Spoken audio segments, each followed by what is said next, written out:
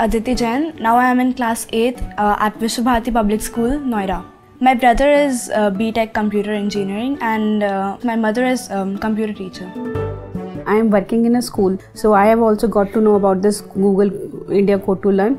Then I told her to participate in this because this software was new for me also. I used to teach C in a school. One day my mother was selling my uh, previous class books to Radhiwala. So that came to my mind like why don't we give, give these books to those who need it, those who can't afford these books? There should be an interface between them. So Freebo is about that all those who have extra books can register themselves and requesters who want books can just search for books. If it is available, they can contact to the contributor or else wait for the books to be available. We had only one laptop, so I would sleep in day and then wake up at nights and complete the app using App Inventor. I don't have to write code in this. It had pre-written blocks and it had a block editor.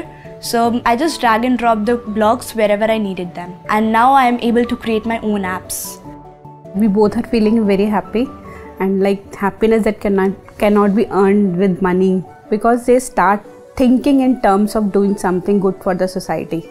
Technology has no age, it's for people of all ages and all classes for kids like uh, my age, I would just tell them that we are doing coding for helping others get into the coding and this would help themselves and the society. I love coding, that's all.